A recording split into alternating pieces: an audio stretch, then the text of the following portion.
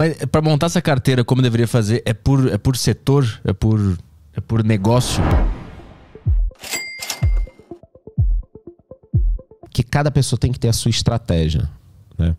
Muita gente cria uma carteira Frankenstein. O cara assiste esse vídeo nosso aqui. Aí ele vai pegar uns dois, três ativos que eu vou falar. Aí assiste um vídeo do Bagos lá, de cripto. Aí pega umas duas, três criptos dele. Aí assiste um, um outro vídeo de alguém. Do pitch. Do pitch. Aí daqui a pouco o cara tá com a carteira só se ferrando. Uhum. E pensando que todos nós estamos tomando. E de repente não.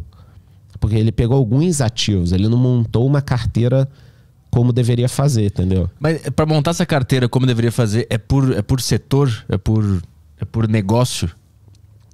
Cara, é por, é por várias coisas, tá?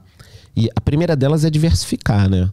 Tipo, então no meu caso, pô, você pode ter ações, renda fixa, fundos imobiliários, criptomoedas. Uhum.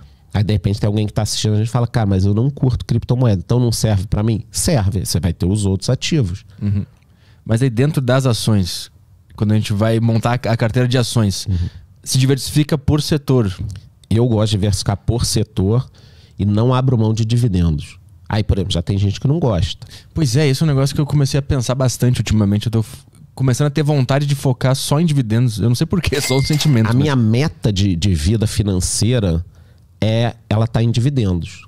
Tipo, você fala assim, ah, quando é que você vai estar tá muito satisfeito com o teu patrimônio? Eu já tô, mas deu, deu encerrar, de eu falar, cara, agora, pô, vou abrir meu canal no YouTube de culinária, entendeu? Uhum. Não, não vou mais falar de finanças. Minha meta é em dividendo, quando eu tiver X mil por mês. Mas qual é o argumento da galera que não gosta tanto de uma carteira de dividendos?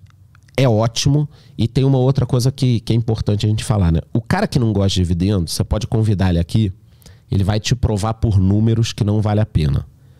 Aí você chama o cara que só fala dividendo, ele te prova por número que o dividendo vale a pena. Então, uma das coisas que eu aprendi nesses 20, 30 anos é que dá para você provar por número qualquer coisa. Então, eu já não levo isso tão tão a fundo, porque eu acho que é você montar uma coisa que que funcione. Uhum. Então, dentro da minha estratégia, parte da minha carteira, que é a minha carteira da aposentadoria, que é pública, tá lá no meu canal, é toda focada em dividendos. Cara. Mês passado ela deu 9 mil reais em dividendos. Eu pego e reinvisto isso, cara. Uhum. Ação e, e fundo imobiliário. Ação e fundo imobiliário.